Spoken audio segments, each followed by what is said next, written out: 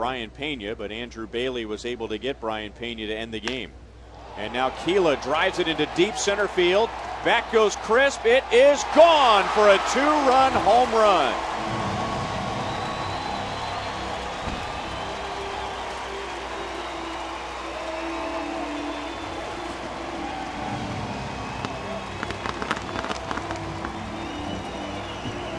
So, how big is that non call now? The Royals have turned it into a three run inning.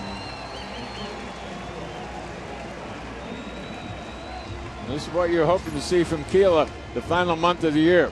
Trying to go away with the fastball, stays between the belt and the letters in the middle part of the plate. We know what he can do if he can get those arms stretched out over the plate. Get that one out.